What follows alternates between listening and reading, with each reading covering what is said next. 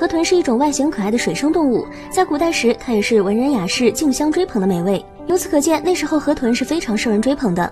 河豚除了肉质鲜美以外，它有一个非常具有代表性的特点，那就是在遇到危险时，它的身体会瞬间鼓胀起来，变成球状。嘴巴小的猎食者就很难将它一口吞掉，而这个时候它的肚皮也会变得非常坚硬，猎食者的牙齿也无法将其刺破。很多人对此都非常好奇，河豚鼓鼓的肚子里装的是什么呢？有位男子就想一探究竟。河豚刚开始的身体还是非常扁平的，但是在感觉到外界的刺激之后，立马变得鼓胀起来。这时候，男子拿出一把锋利的刀，对着河豚的肚子划了几下，很快，河豚的肚皮上就被划开了一道口子。男子剥开之后，没想到里面装的竟然满满都是水。